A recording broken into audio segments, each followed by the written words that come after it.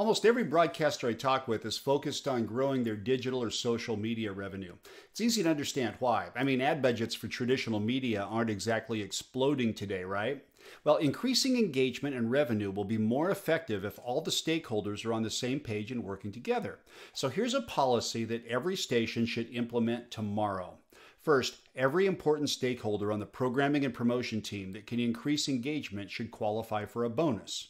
Second, every salesperson with access to all clients should qualify for a sales achievement bonus for digital and social. Okay, you're with me so far, but here's number three.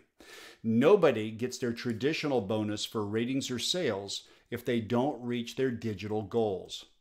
You want results? Hold the team accountable and reward them and send the message that it's important. This works. It's been proven to work. It gets everybody on the same page, pulling together with a common goal.